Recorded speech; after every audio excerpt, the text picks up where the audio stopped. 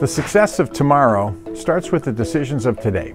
I'm Bill Burnett, the Executive Director of the Life Design Lab at Stanford, and I'm excited to introduce you to a program that will transform the way you think about innovations and their impact. It's called the Emerging Technologies Designing Strategy and Forecasting Disruption Program. And if you're involved in crafting your organization's strategy, this program is catered for your success. Now, the program isn't just about learning. Design is a contact sport. It's about doing. With the opportunity to visit Stanford's cutting edge research labs and apply the knowledge you learn in lectures through immersive design challenges, which will give you a better understanding of how innovation is fostered in areas like AI, Chat GPT 4, and in human robotic interactions. But there's more than just the knowledge you'll gain, it's also about the amazing people you'll meet.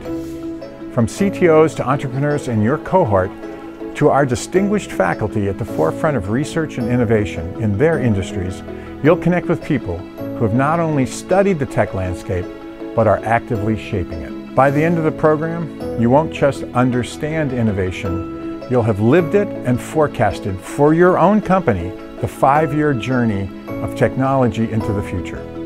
So I hope you'll join us for this transformative journey and gain the skills and knowledge needed to confidently lead your organization into a future where emerging technologies drive success.